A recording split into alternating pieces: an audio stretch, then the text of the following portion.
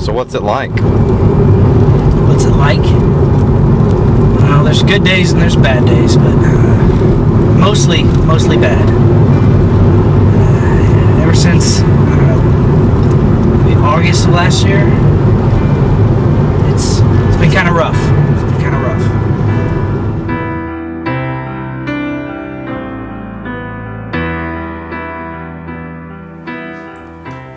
It's almost like a dream.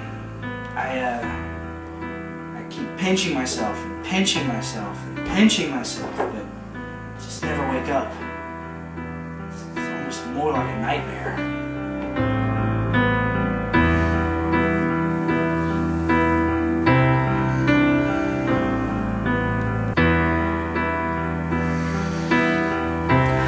I I can't do this anymore.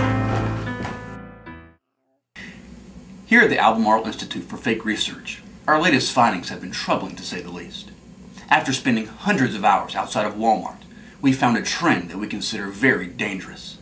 Tens of thousands of Stanly Countyans are walking around in an almost zombie-like state, sluggish and lifeless, almost like robots, with real feet and sad tiny little faces. Now let's get one thing straight. I'm no doctor. In fact, I don't even wear glasses.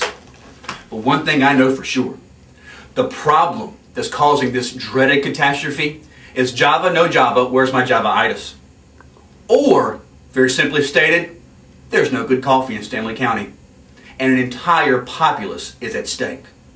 I know one thing something must be done quickly, and it has to be done fast.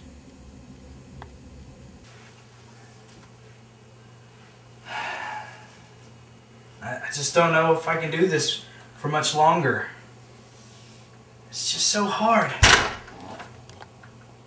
I need coffee.